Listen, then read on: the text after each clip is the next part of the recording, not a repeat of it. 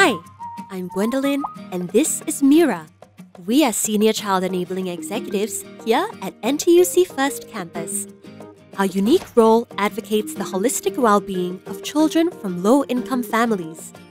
Since we work so closely with children, their families, and caregivers, we are normally the first to detect emerging concerns and promptly provide our assessment to social workers. This is when we become the bridge between the families and social workers to ensure that everyone is on the same page and that the right help is provided. That's not all. We never get tired of seeing happy faces of families when they receive the right support options, which they may otherwise be unaware of.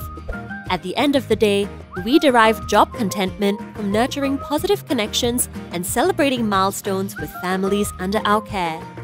Join us as we play a part in giving children from low income families the opportunity to break out of their circumstances with a good start in education. Apply today to be a child enabling executive at NTUC First Campus, one of Singapore's largest early childhood educator.